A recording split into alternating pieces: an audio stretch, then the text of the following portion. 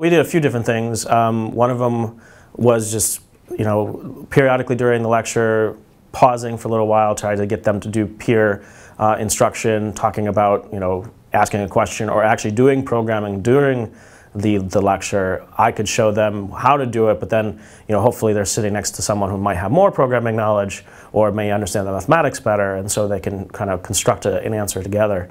Um, so was that aspect of it. Also, we, we really emphasize group work um, and try to add group work. So in, instead of doing lecture actually in class, having them pair up um, and you know doing uh, uh, peer instruction in that way.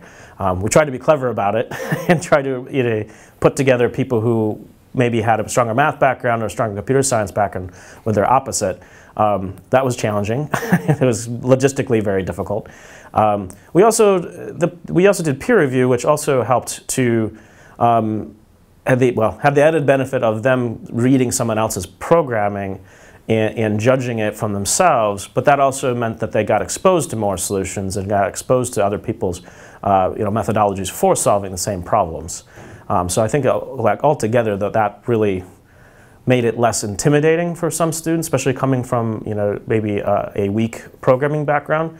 But also the opposite happened, where you saw students who maybe had a clever mathematical idea programmed it, and then they would see that idea too. So you kind of had this nice, um, you know, flowing both ways, and and uh, had nice ideas coming that way.